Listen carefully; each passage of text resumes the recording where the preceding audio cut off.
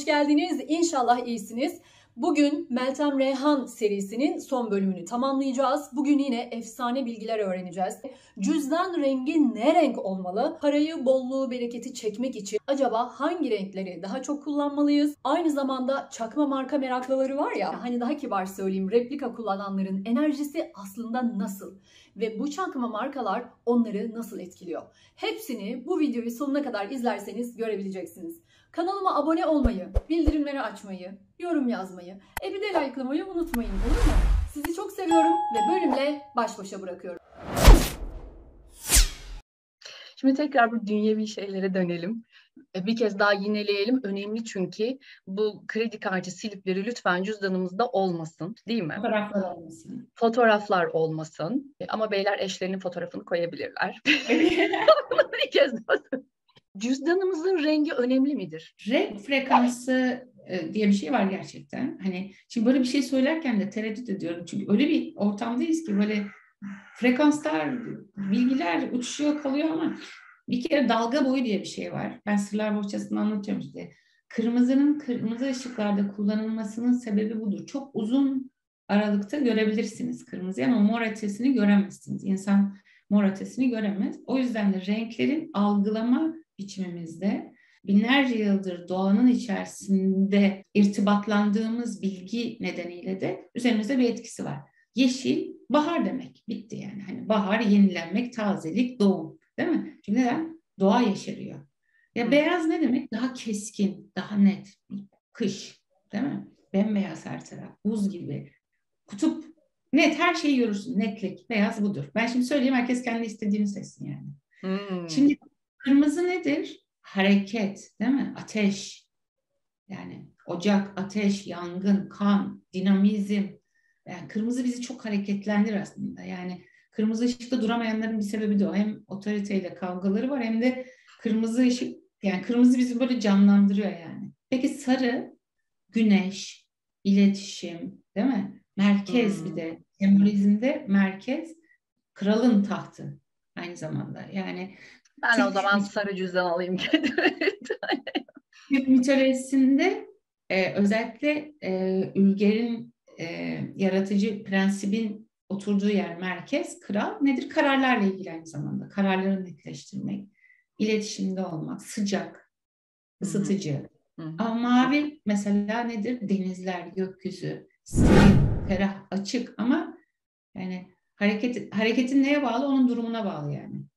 Daha sakine siyah kapsıyor her yeri yani. Gece her şeyi kapsıyor. Siyah bir kap, siyah bir odada her şeyi göremiyorum. Yani para enerjisi çok çıldırmış olanlar kırmızılar, turuncular, sarılar yani sarıyı biraz kıyıya koyuyorum. Kırmızılar ve turuncular, morlar, Moru soracaktım. Mor paranın rengidir diye artık herkes tarafından bilinen bir şey var ama daha da yeni öğrendim ki mor aslında zorluk verirmiş. Mor ne hangi renk ona bakalım. Şimdi çakralardan onu kim çıkarttı bilmiyorum. Bana da bir kitapta anlatıyorum. Mor cüzdan vermişti. Çok böyle varlıklı bir danışanım şey dedi. Kırmızıya çok gelir çok gider. Morda dedi gelir birikir birikmedi. Yani geldi ve gitti yine. Çünkü benim evet, hatırlıyorum kitapta da bölümü.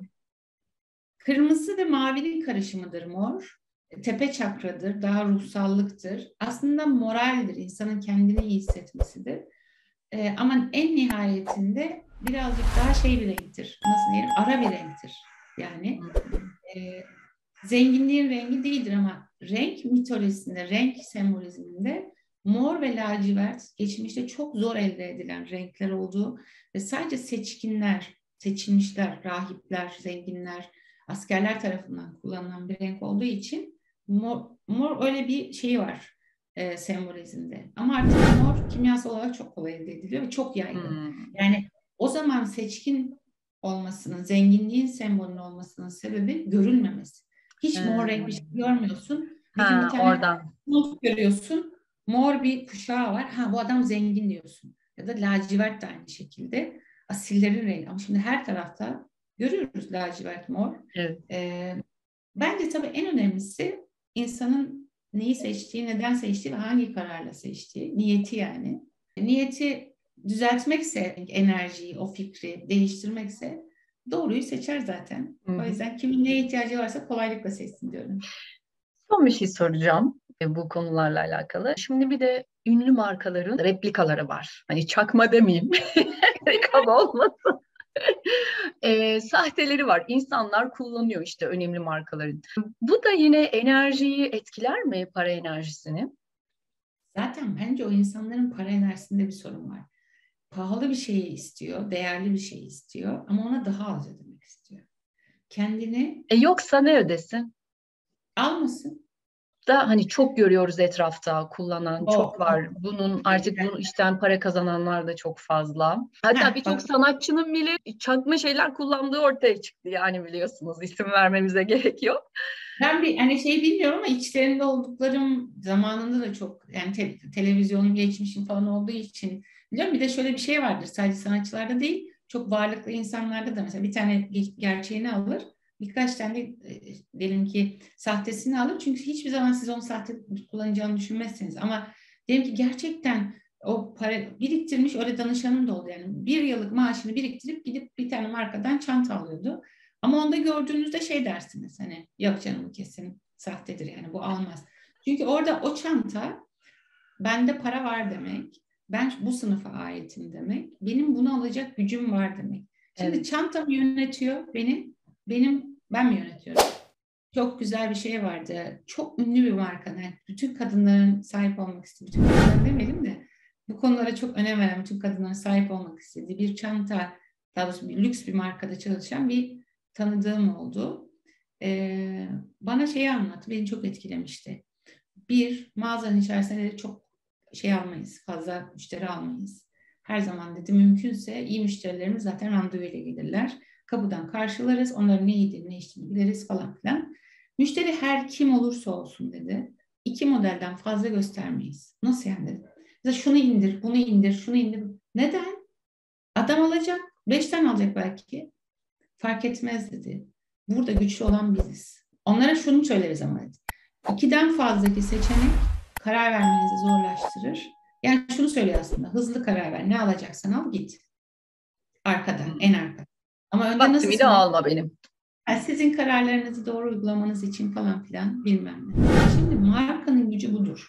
Güç budur. Neye karar vermek istediğini, sonucu nereye götürmek istediğini bilen insan güçlüdür. Ama öteki türlü yapamadığı şeyi yapıyormuş gibi gözüken insan içeride kendini eksik hisseder. O çanta birinci sınıf olsun. Yani hiç ayrıştırılamayanlar var ya böyle kutusuna kadar yapıyorlar. Evet, dikiş sayılarına kadar aynı yapıyorlar. Tabii tabii. Yani peki fark ne? Bir tanesi bazısı bir çantaya o kadar para vermem. Gider sahtesine. Niye o çantaya veriyorsun o zaman? Aklında o çanta yani aklında başka birisi gidip başkasıyla evleniyorsun. O evlilikten mutluluk çıkar mı? Çıkmaz. Hep aklında o. Gerçekten çok çok güzel bir yayındı. Ee, hala böyle sanki unuttuğum şeyler varmış gibi daha da konuşmuş. Sizi böyle bulmuşken sorayım sorayım sorayım gibi hissediyorum. Ama ben bir söz istiyorum tekrar buluşmak için. Evet kabul ve seve seve. Çok keyifli bir sohbet oldu. Çok teşekkür ediyorum. Şu dişil eril enerjiden bahsedelim bir dahaki sefere. Frekanslardan bahsedelim. Daha detaylı bilinç altından bahsedelim. Sizle konuşmak çok keyifli zaten. Bahsedelim de bahsedelim. Hayırlı olsun diyorum. Ben çok güzel ürünler, videolar çıkacağını, çok faydalı olacağına inanıyorum. Canı gönülden inandığım için ve ilk olduğum için burada olmaktan dolayı çok mutluyum. Devamı olsun, hayırlı olsun inşallah. Amin bereketli olsun diyorum. Çok teşekkür ediyorum. Birlikte uyuyanları uyandırmaya niyet ediyorum ben. Eyvallah diyorum. Yani niyeti olan zaten uyandırılacaktır. Tekrar çok teşekkür ediyorum. Görüşmek üzere. Çok sevgiler. Sevgiler. Hoşçakalın.